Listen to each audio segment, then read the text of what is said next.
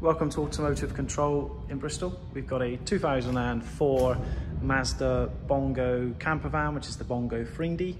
Friendly.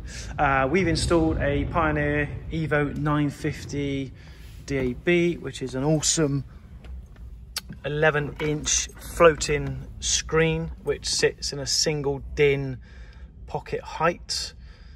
Um, there we go, it's in the dashboard in the bottom section of the double DIN partition. Uh, let's show you uh, Android Auto. We've got uh, wireless Apple CarPlay, wireless Android Auto, standard DAB radio as well.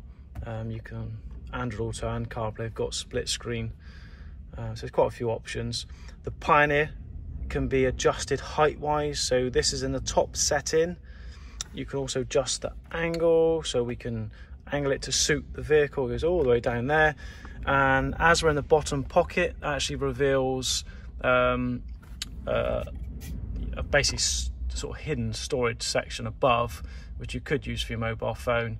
Uh, the alternative is that we can put the unit in the top section which would be up here and have this pocket in the bottom section if you want the overall screen to appear a bit higher on the dashboard this customer wants it in the lower position so it looks a bit more flush into the dash uh, we, as this is a camper van, it has a leisure battery, so we've actually wired the system to work through the ignition, so the key, uh, key in, radio on, and vice versa. But also we've wired a little switch which is illuminated just here, and with that switch illuminated, uh, if we turn the ignition off, so ignition off, key out, uh, the unit will actually stay on and this is all powered solely through the leisure battery so it's not going to put any drain onto the engine battery.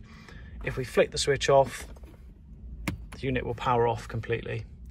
And then if we want to use it recreationally we can just flick the switch back on and again the power the, the, the Pioneer will power up and solely be powered from the leisure battery which on this vehicle is underneath the engine bay yeah this is all fitted up within sort of two to three hours at our workshop in Bristol. Thank you very much for watching.